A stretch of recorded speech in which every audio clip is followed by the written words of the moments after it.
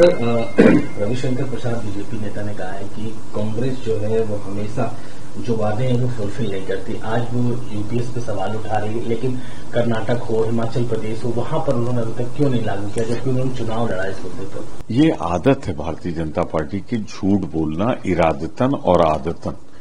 बात केंद्र सरकार की हो रही है। आप कर्नाटक और हिमाचल क्यों नहीं आ रहे?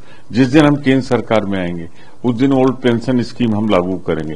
आज मैं आपसे पूछना चाहता हूँ, केंद्र में आप हैं, केंद्र की जो ओल्ड पेंशन स्कीम थी, उसको लागू क्यों नहीं करें? आप गुनागार हैं, आप दोषी ओल्ड पेंशन स्कीम खत्म करने के लिए। हमारा वादा है, जिस दिन हम केंद्र में आएँगे, ओल्ड पेंशन स्कीम लागू करेंगे। सर प्रधानमंत्री मोदी ने एक सम्मेलन में कहा है कि सरकारें आएँगी, जाएँगी, लेकिन जो महिलाओं की गरिमा है, सुरक्षा है, वो बनी रहनी चाहिए। उन्होंने कहा कि life imprisonment for sexual crimes against minors जो है, वो है, और सभी को ध्यान देना चाहिए, कितनी भी पार्टियाँ। देखिए, कांग्रेस पार्टी ने निर्भया हत्याकांड के बाद कानून बनाया था, और सख्त कानून बनाए थे। उस समय जो chief justice of India retire हुए थे, उनकी अध्यक्षता में एक समिति गठित की गई थी और उस समिति की सिफारिश के अनुसार बनाया गया था। पर मोदी जी से मैं ये पूछना चाहता हूँ, आप अपने ही आंकड़े देख लीजिए।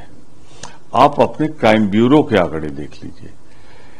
पिछले दस साल में आपके महिलाओं के खिलाफ ये उत्पीड़न का मामला क्यों बढ़ रहा है? बलात्कार के मामले क्यों बढ़ रहे हैं? क्यों अपराध बढ़ रहे हैं और क्यों मुकदमे छूट रहे हैं?